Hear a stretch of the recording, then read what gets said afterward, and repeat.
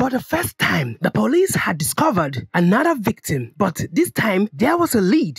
First, they discovered what seems to be a car crash debris in which they are determined to find the make of the vehicle. Also, there were human footprints around the dead victim in the woods, which means the beast had already made its kill before coming in contact with Lenny Griffith. Nora asked Jacobson to come with her to the scene of the crime and asked Les Phillips to be invited to the police station for questioning. As for Lenny Griffith, Griffith, Jaron's present health was not encouraging, for his treatment was aggressive but yielded no positive result, and his health had not improved for the better but for the worse. And the new treatment, which is being suggested by Jaron's doctor was experimental and way more aggressive as it is a 50-50% chance that this treatment will be successful. It was like rolling a dice or hoping to win the next coming lottery when casting numbers. There was no guarantee that Jaren would come out alive from this treatment which was experimental. It was in the woods where he left his wife for help for there was nothing he could do for her for she fell down by the cliff of a mountain mountain and broke her leg in fear. She objected on her husband leaving her on her own.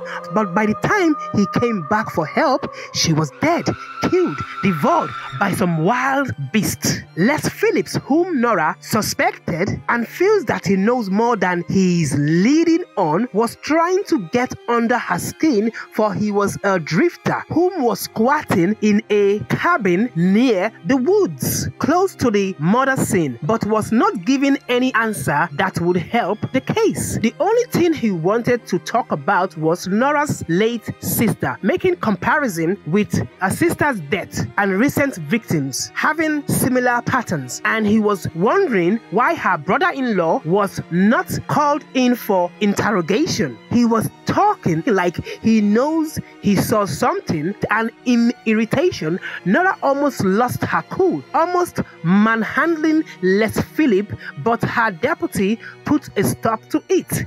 For seven days, Anton had refused to eat in his weak state, for he was being drugged and induced by Lenny Griffith and being held captive in his basement without reporting him to the police. Anton warned Lenny that tranquilizing and inducing him with drugs will not make him weak when the full moon surfaces, that it was in his best interest to let him go, for there are consequences for his actions. But one thing Anton doesn't see coming is that Lenny Griffith has his own agenda, and all it takes is patience and the full moon. Anton revealed that he had been a werewolf for 91,136 nights and days. It started hundreds of years ago as a soldier in a French military battalion. They were in a war with the British army and they had been defeated. So to avoid more deaths,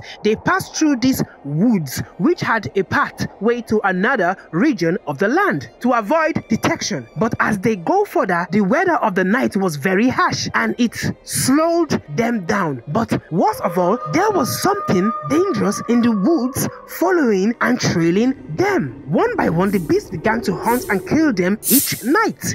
By killing and devouring them, it was a scary thing for Anton, for he was the only one left, and his mental state of mind was delving towards suicide, and he was scared out of his wits. As he was about to end his own life, the beast struck, and there was a fight between the two. For Anton had a silver sword, and with it he struck the werewolf and killed it. As he sees the beast transforming into a man without realizing he was infected, only for the full moon to appear and he turned to a werewolf. Lenny Griffith was shocked to know that Anton was 256 years of age and questioned Anton's integrity for going along with the wolf's instinct in killing innocent people. But Anton told him that he had no control of the wolf, for there is a good wolf and an evil wolf, in which Lenny asked him how to choose the good wolf, but he pretended to fall asleep when it came to answering that question. As Lenny Griffith came out of his basement,